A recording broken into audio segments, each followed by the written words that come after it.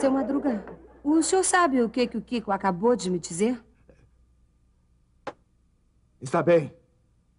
Eu já imagino. Que o senhor disse que as pessoas boas devem amar os seus inimigos. Bom, sim, mas é que... Meus parabéns, seu Madruga. Oxalá todo mundo dissesse coisas como esta às crianças.